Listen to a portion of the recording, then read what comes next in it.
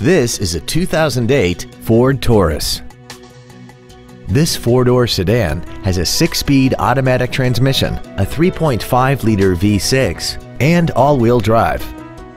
Its top features include memory settings for the driver's seat's positions so you can recall your favorite position with the push of one button, heated seats, cruise control, seven intelligently positioned speakers, leather seats, performance tires, big 18-inch wheels, a low tire pressure indicator, air conditioning, and this vehicle has less than 58,000 miles.